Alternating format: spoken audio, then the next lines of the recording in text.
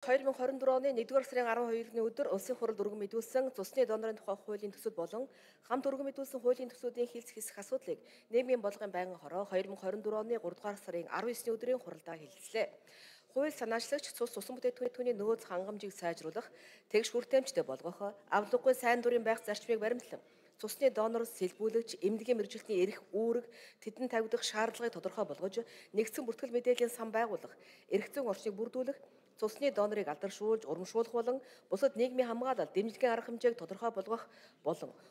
эдгээрх дэмжлэг үзүүл аж ахуйн нэгж байгууллагад татврын хөнгөлөлт үзүүлэх цус цус сэлбэл судлалын тусгай мэрэгжлийн төвийн бүрдүүлдэг төсвийн орлогыг нэмэгдүүлэх, төвийн үйл ажиллагааг дэмжих, салбарын эмч ажилчдын цалин хөлс урамшуулыг нэмэгдүүлэх замаар нийгмийн асуудлыг шийдвэрлэж, хүний нөөцийн тогтвортой байдлыг хангах, цус сэлбэл судлалын чиглэлийн судалгаа, төгсөлтийн дараах сургалтын санхүүжилтийг шийдвэрлэх зэрэг төсвүүдийг тусхан хуулийн төслийг боловсруулсан байна.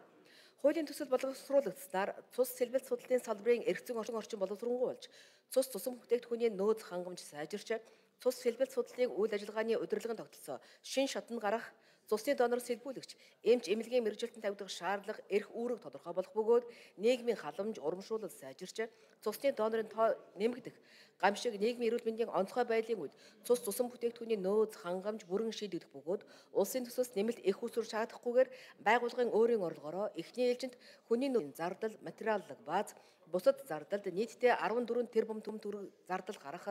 цаашид техникийн шинжилэлтэй холбоотой хөрөнгө оруулалтын зарлыг улсын төсөв тусгаар төсөл салгаж үтсэн байна. Хуулийн төслийг ди парламент цэгэм цахим хуудасд байршуулж, иргэд олон нийтийн саналыг авч байгаа болно. Байнгын хорооны хуралдаанаар хуулийн төслийг хэлцэх үед улсын хурлын гишүүнчийн зориг хуулийн төсөлд 2 жилийн өмнө холбогдох яамдаас санал авч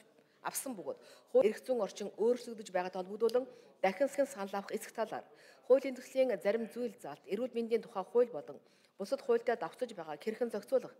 төсөл байгууллагын өөрийн олсон орлогоор эргэлтийн сан болох заалт нь засгийн газрын тусгай сангийн тухай хуульд нийцэж байгаа эсэх талаар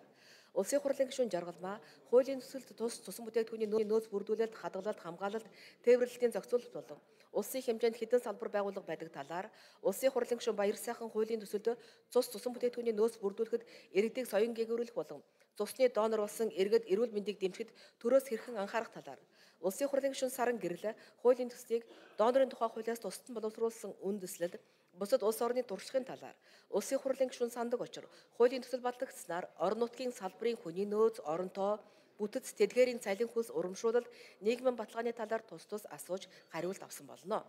Хуулийн төсөлтэй холбогдуулан улсын гишүүнчийн зэрэг хуулийн төслийн зарим заалт салбарын болон бусад хуулиудад давтаж байгааг анхаарах зүйтэй гэдгээр дахин санал хэллээ. Цусны донорын тухай хуулийн төсөл болон хамт өргөө мэдүүлсэн хуулийн төслүүдийг засгийн байнгын хорооны хуралдаанд ороонд оролцсон гишүүдийн олонх нь буюу 66.7% нь үзэл баримтлалын хүрээнд хэлцгийг дэмжиж чуулганы нэгдсэн хуралдаанаар хилцүүлэх нь зүйтэй гэж үзсэн болно.